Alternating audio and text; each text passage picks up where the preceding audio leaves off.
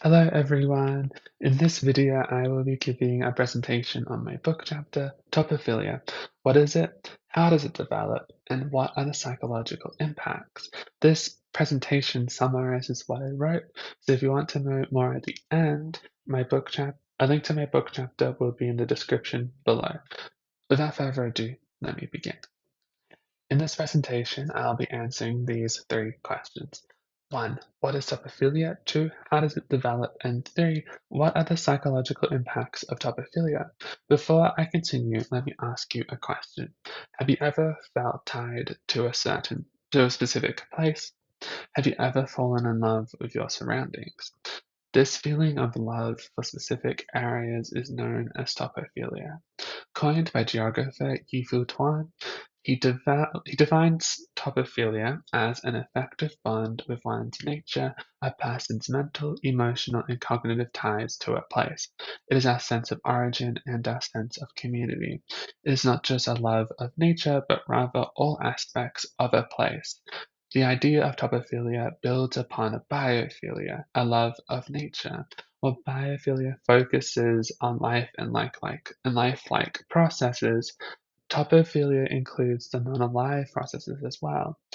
For example, in this slide image, biophilia means we only love the trees. Topophilia includes everything like the rocks. There are two main theories as to how topophilia develops. The first is the cultural perspective. Topophilia is a personal experience that is developed throughout our lives it is influenced by our social, economic, and cultural factors. The second is the evolutionary perspective. This perspective means topophilia is a biological process. It is a behavioral system that, it, that builds upon our gene expression and environmental interaction. Topophilia is just a tool for survival. Currently, there is a debating whether topophilia is a cultural evolutionary phenomenon. Topophilia psychologically impacts us in two main ways. It improves our quality of life and affects our childhood. Studies have shown that nurturing our relationship with nature improves our mental health, which improves our quality of life. This studies have also shown that it is present within our childhood.